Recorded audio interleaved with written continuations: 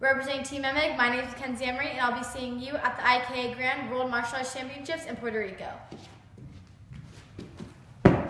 See you there.